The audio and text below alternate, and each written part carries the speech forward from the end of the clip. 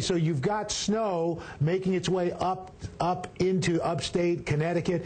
But look at what's going on Long Island, central Long Island, uh, the Nassau County, the Suffolk County line, right on into New Jersey. We've got an icy mix starting to develop. That's where we find WNBC's Harry Cicma. He is right now in Sparta, New Jersey. And just by the looks of you, Harry, you've got frozen precip all over you.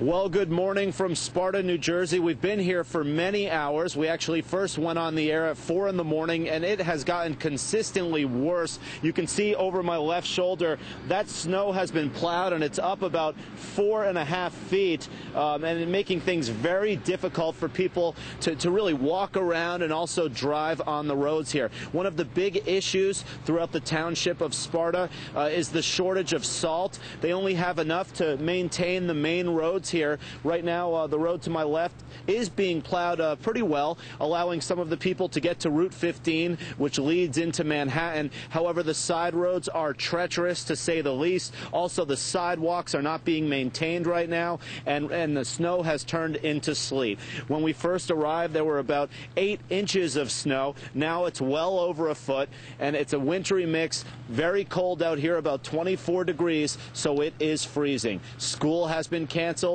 Once again, treacherous conditions. If you're in Sparta or throughout the tri state area, you definitely want to stay inside and stay safe. Reporting in New Jersey, I'm Harry Cicma. Back to you. Harry, that's amazing that they've run they're running out of salt and I bet this story's being repeated all over the Northeast. Thank you so much, my friend. Let's bring in Mike Bettes. He is got the seven day. And Mike, just think about it. All these communities have probably just plowed through, no pun intended, yeah. their, their snow.